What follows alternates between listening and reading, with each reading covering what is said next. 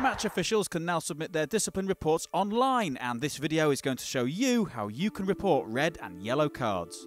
First up, starting from the referee's dashboard, click to Add a new match. Choose your role, the match date, and one of the tick options to select either County Cups, League or League Cups, or other competitions depending on the type of match. Start typing in the name of the competition. This will then auto fill in the box and you can then select from the drop down menu. Next, select either the relevant division or all teams in the league. You can then choose the home and away teams from the drop down options and then click on Save Details. This will take you through to the referee's report page and the fixture appears in the blue box at the top of the screen. Now let's take you through adding a caution. Click on the cautions box. You'll now see the option to add a caution appears below. Select the team, player name, caution code and FA code.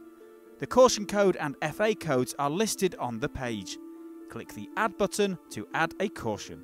Repeat this process to add any further cautions. Should you wish to remove any cautions you have added, click on the Remove button.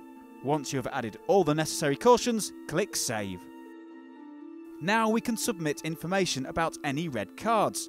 To start, click on the Dismissals box. Once on the Dismissals page, you can add a new dismissal. Choose the team, player name, the relevant Law 12, and tick the Also Reporting box if another match official is also going to submit a report.